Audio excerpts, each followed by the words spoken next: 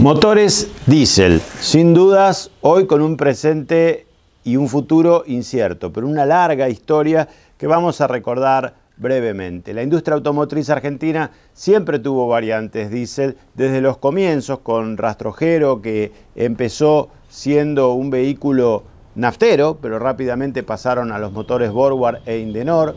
La pickup Chevrolet en los años 61 y 62 vino con motores diésel Bedford cuatro cilindros que no funcionaron claramente y solo se produjo esos años. Dodge también tuvo sus pickups con motores diésel, las D100 o D200, que al igual que Ford en el año 69-70 saca la opción diésel, aunque en este caso siempre con motores producidos por otros. Ni en el caso de Chevrolet ni en el caso de Ford las mecánicas diésel eran propias. Pero en algún momento compitieron Ford V8 contra Dodge V8, diésel contra diésel y seis cilindros contra seis cilindros. Duró poco, Ford tuvo monopolio con el V8 prácticamente contra Dodge y después el diésel se fue imponiendo.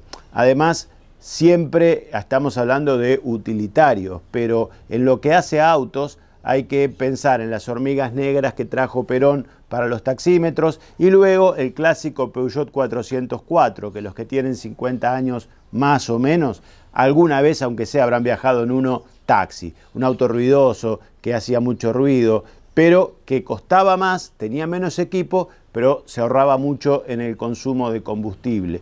Y esa característica impulsó al gasolero, fundamentalmente en autos Peugeot, siempre fue la que tuvo la vanguardia con el 504 SED, luego el diésel ligero con motor Perkins y por supuesto la gran aparición del 505 en 1984-85 con los motores turbo diésel y los diésel aspirados. Pero 505 a mitad de los 80 con Sebel fue el primer turbo diésel en la gama de automóviles.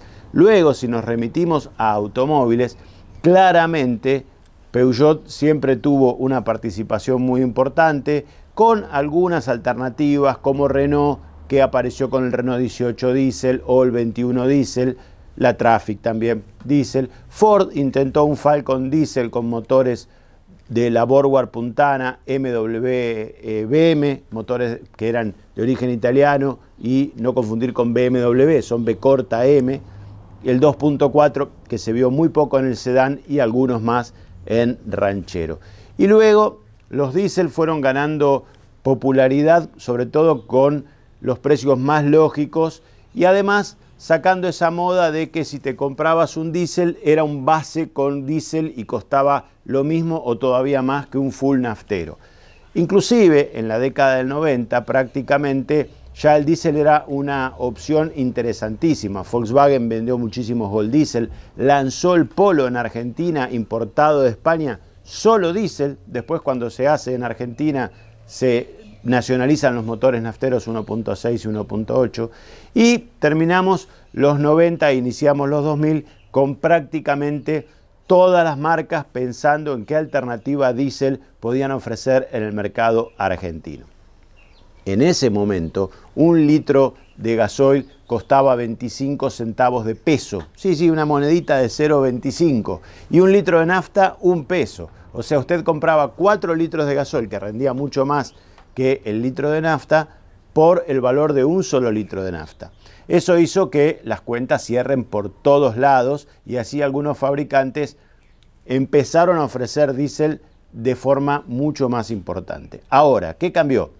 Cuando pasamos a los motores Euro 4, que los primeros que llegaron fueron Passat TDI, Audi y Clio 1.5, esos motores requerían un gasoil con bajo contenido de azufre, 450 partes por millón.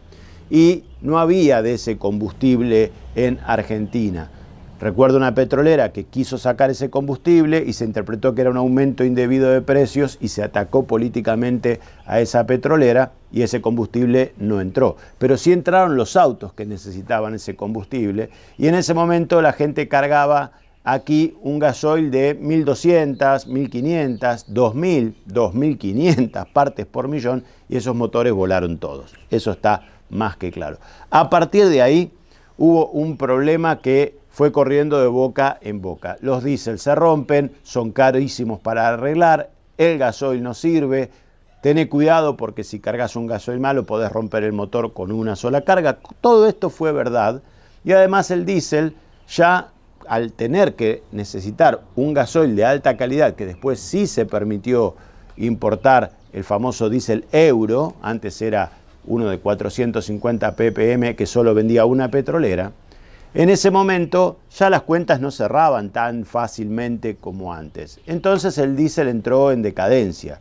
Se empezaron a retirar ofertas de motores diésel para no tener problemas y además la gente ya no veía con buenos ojos comprar un diésel. A todo esto sume que uno de los mayores argumentos de quien compraba un diésel, más allá de que le guste el torque del turbodiesel, el consumo, hacer mil kilómetros con un tanque, bárbaro. Más allá de eso, su argumento de venta, eh, de compra era el día que lo vas a vender, recuperás la inversión de más que hiciste porque el gasolero vale más que el naftero, mismo en usado. Esto ya no pasaba, porque la gente no quería comprar un vehículo turbodiesel usado porque desconocía qué gasoil le había cargado el propietario, qué aceite le había puesto, si le había hecho los servicios como correspondía y se podía comprar un problema. Más allá de todo eso, los autos diésel fueron prácticamente desapareciendo. En pickups continuaron, en 2018 llegaron los filtros de partícula que obligan a todos los que andan en gasolero a cargar el mejor gasoil, el euro, y de esa forma el grado 3, como se lo conoce, es hoy un combustible que sale más caro que la nafta. Entonces ahí hay que hacer cuentas, porque también los motores turbonafteros han mejorado mucho los consumos y de esa forma ya pocos están interesados en diésel. ¿Qué oferta hay hoy en el mercado diésel y cómo vemos el futuro de Argentina? Es muy poca. Prácticamente Peugeot Citroën, que tienen Peugeot 408 y C4 Lounge, que pronto van a estar fuera del mercado, 308, que no sabemos qué futuro va a tener el diésel dentro de él, lo mismo para Partner Berlingo. Por el lado de Renault, que ofrece Kangoo de pasajeros y furgón con el 1.5 mejorado, lógicamente asegura que lo va a mantener en oferta y producción. Y por otro lado, dentro de lo que es Estelantis, tenemos este motor que está aquí encendiéndose desde el llavero. Se trata de un motor conocidísimo en la familia FCA porque es el que equipa a Fiat Toro y que también está llegando a lo que es el Jeep. Lo voy a apagar desde la llave porque es ruidoso y además el electro porque recién llega del barro el vehículo. Así que para evitar todo esto, hablemos con el motor silenciado. Este motor que en Toro no debutó bien. Fue el primero en traer un filtro de partículas allá por 2016, cuando nadie lo sabía. Cuando hicimos el test no lo sabíamos y tuvo problemas sobre todo con las cajas manuales. Fiat solucionó la electrónica, solucionó el software para advertir a los clientes. Esos problemas se solucionaron. Además, si usted le carga un gasoil grado 2 a un auto que requiere grado 3, como es este, entonces los problemas van a venir. Ahora, cuando la gente está bien informada y sabe que tiene que cargarle un gasoil de buena calidad, entonces ya no hay problemas para comprar una mecánica turbodiesel. Y en este caso, también lo que tenemos que ver es que Jeep ha empezado a ofrecer, primero en Compass Trailhawk, primero en Renegade Trailhawk y ahora en Compass Trailhawk, todo lo que tiene que ver con esta mecánica.